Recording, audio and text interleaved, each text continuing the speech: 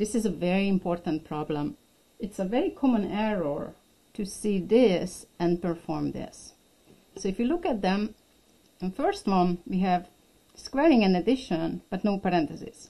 So between addition and exponentiation, exponentiation is stronger, so left to right we have 9 plus 4 squared. 4 squared is 16, so we have 9 plus 16, and that's 25. So we square 3 and 4 and then we add. That's not what happens here. What happens here is that because of the parentheses overriding the default order of operations, we have to square whatever is inside the parentheses and that needs to be a number first before we could square it. So we add first. 3 plus 4 is 7, and 7 squared is 49.